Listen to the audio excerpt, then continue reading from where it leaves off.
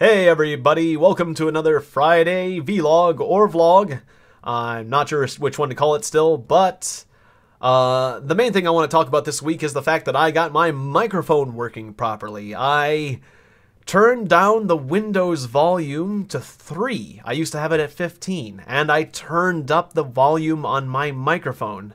There was actually a volume dial, a gain dial, and I turned it up considerably, and it turns out that Windows was amplifying that whining EMI noise and some other background noises in some ways that the microphone itself would not.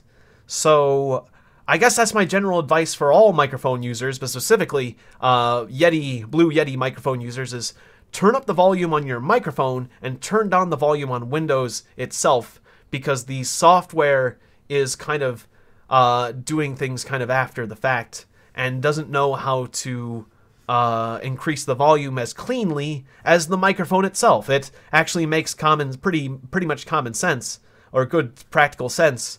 Uh, so, uh, yeah, after owning my microphone for over a year, I finally had learned how to use it properly. That's go go me. Way to go. You're so smart.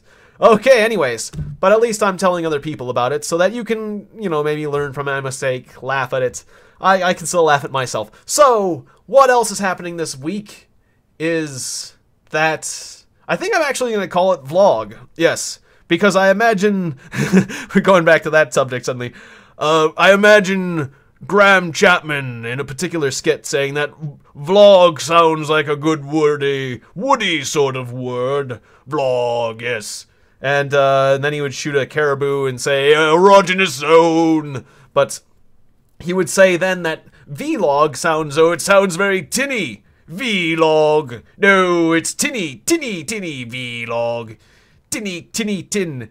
No good old salt, is what he would say to his wife, while his daughter would be offended by the word tin and would cry and go running from the room. And if you don't know the skit I'm talking about or referencing here, I don't know the name of it either, but it's a Monty Python skit, and if you just look up erogenous zone in the uh, Google or caribou nippling at the croquet hoops in the Google search bar, I'm sure that you'll end up in the right place and Monty Python. Uh, but anyways, happy Father's Day. I want to get that out there. Be good to all fathers and grandfathers and all of their ilk. I uh, I really mean that.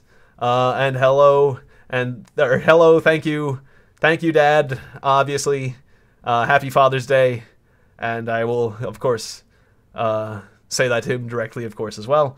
And the other thing that's happening so that's basically that out of the way. I, uh, you know, you don't really need to go too far out of your way if you're good. But generally, be good to everyone. I mean, that's an important one. Be good to everyone, and if you're good to everyone all year round, I mean, do we really need to go out of our way to be good to someone on a particular day? If you're really, if you're really good about just being good to everyone.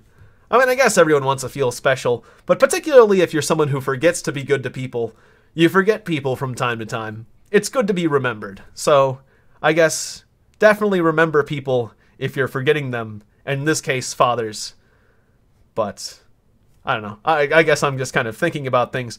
But uh, what else is happening on Father's Day, June the 19th? That's really exciting me. Is Don't Hug Me, I'm Scared, episode six, I believe it is, because the first five were just amazing. They blew my mind. They were some of the highest quality videos I have seen on the internet in terms of just artwork and puppetry and sound and lighting and and jokes and it's just got everything and tons of hidden Easter eggs and people have gone wild for these videos. It is they are the pinnacle of quality versus quantity. I seem to be landing more on the quantity side of the slider where they only have these six videos, but man, it's like they are like some of the most thoughtful videos. They are full of enigmatic puzzles, and I feel like they've kind of spawned an entire genre of videos that are like enigmas that people solve as a community. There's like, hey, I found this thing out. Oh, hey, I found this thing out, and we work together and we kind of map out the puzzle as a whole. I should say that actually I don't know that a video is actually coming out on the 19th. They are that enigmatic. I don't I don't actually have official confirmation. It's actually all the community. And I have been burned on community theories before with a certain Hodor origin. The origin of the name Hodor. Hodor. Man, that was a cool episode. I don't want to spoil it. But minor spoiler alerts. I'm not going to spoil the whole thing, but it involved time travel and it just raised a lot of questions. It was very intellectually stimulating and it made me think I don't I haven't read the theories on this one, but that time travel works in that world like it's kind of uh kind of expected to happen, like it's fate. Like uh what you've already it's already been pre-calculated that you have traveled back in time. It, it, it, raises the question what happened the first time you know before someone traveled? How how did these series of events happen before anyone traveled back in time in the first place? But in any case now this loop is set up where time travel's involved and uh, the people that reacted to the time travel reacted to it in the way they did to create the situation that created the time travel in the first place and so now it's just a uh, unending loop. Uh, i guess is the way to explain it so that's the time time occurred in a way that it expected the time travel to happen essentially. But it, it, time travel always raises a lot of questions. I'm talking about things in a very general way so that people who have seen the episode will know what i mean but people who haven't seen the episode still won't get it spoiled. But i just thought that wow that's in a nutshell i thought that that hodor the the reveal of the origin of, of hodor was it was pretty uh, surprising. And I'll give you another hint. It was not the name of a horse. That's what I got burned on. I said, it, you know, I thought it could have been a name of a horse. And as far as I know, it really seems like there's going to be an episode of "Don't Hug Me, I'm Scared" on the on Father's Day, the 19th. But I don't know for sure. There's just a lot of references to the 19th throughout the series, and I believe it. But I believe that Hodor's name was a horse the name of a horse. I thought Hodor was a horse. He was not a horse. He was not a horse. Anyways, so I think that covers everything. Oh, I did have a lot of technical difficulties this week, but I soldiered through it. It was one of those weeks where everything that can go wrong does. My editing software messed with me. YouTube messed with me. I had a weird thumbnail error and a weird uh, corruption of a video, so I had to repost two videos and uh, my computer. And there was just, you know, when you have one of those weeks where everything goes wrong that can, and it was compressed within three days of unfortunate events.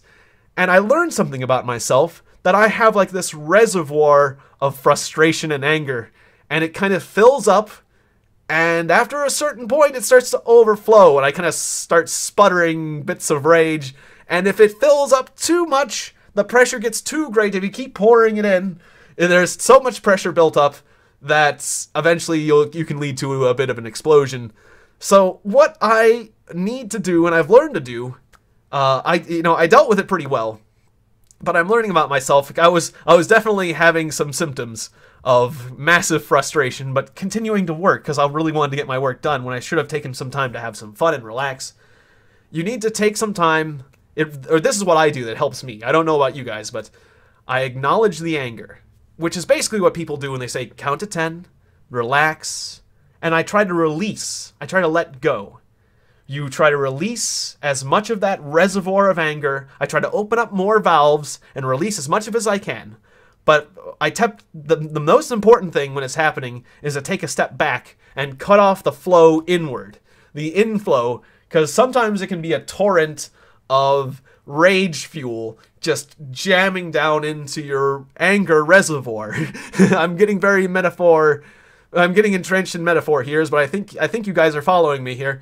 Uh, so I'm gonna soldier on that. If I just try to release, if I cut off the flow, take a step back, and then try to release as much as I can, try to open up all those valves and just let go, then I can continue working. But if I don't take that moment to do those things, it can get kind of ugly. and I can get I can start to, you know, and and and the thing is, it's like I have a tendency to be one of those people that just kind of takes it in and forgets to do that. And I can do that for quite a while. It's like and it's like one a, a bad thing will happen and it's like, okay, or okay, you know, another bad thing happens. Oh, you know, it's like it gets worse, and then you start to get the eyeball torture. Okay, you know, another bad thing happens, and then another bad thing. Okay, no more bad things happening now. and uh, and then you um you cause a volcano to explode with your rage fuel or something. I don't know where I'm going with this, but you guys get the idea. You when when too many things happen in a row and you don't release you're you're gonna end up releasing anyways. serenity now, insanity later, I guess, in a general sense. One wise man once said. So, anyways, uh, that's all I have to say. Thank you for tuning in this week for the weekly vlog. Uh, thanks for watching. I will see you next week. Good night.